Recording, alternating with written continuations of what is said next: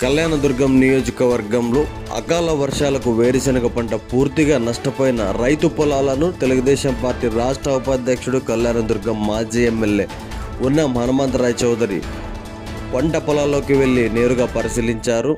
రాష్ట్ర వ్యాప్తంగా అనంతపురం జిల్లాలో ఎంతోమంది రైతులు అనేక రకాల పంటలను అకాల వర్షాల కారణంగా రంగుమారి ధాన్యం ఎవరు కొనుగోలు చేయక తీవ్ర నష్టాల్లో ఉన్నారని అనంతపురం జిల్లాలో అత్యంత కరువు ప్రాంతమైన కళ్యాణదుర్గం నియోజకవర్గంలో వేరుశనగ పంట పూర్తిగా నష్టపోయి రైతులకు అప్పులే మిగిలాయని ప్రభుత్వం వెంటనే స్పందించి నష్టపోయిన ప్రతి రైతుకు ఎకరాకు ఇరవై ఐదు వేలు చొప్పున నష్టపరిహారం చెల్లించాలని మాజీ ఎమ్మెల్యే హనుమంతరావు చౌదరి ప్రభుత్వాన్ని డిమాండ్ చేశారు. అలానే తడిసి రంగుమారిన దానాన్ని ప్రభుత్వమే కొనుగోలు చేసి రైతులను ఆదుకోవాలని ఆయన ప్రభుత్వాన్ని కోరారు.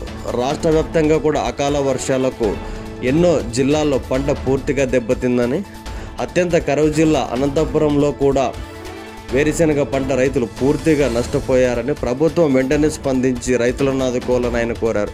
ఈ కార్యక్రమంలో తెలుగుదేశం పార్టీ నాయకులు ఆర్జీ శివశంకర్ ఇతర తెలుగుదేశం నాయకులు పాల్గొన్నారు. కళాందరి సమాచార బులెటిన్స్ మీ మొబైల్లో రావడానికి కింద ఉన్న సబ్స్క్రైబ్ బటన్ని నొక్కండి పక్కనున్న గంట సింబల్ని యాక్టివేట్ చేసుకోండి. మా లేటెస్ట్ వీడియోస్ నోటిఫికేషన్స్ మీకు అందుతాయి.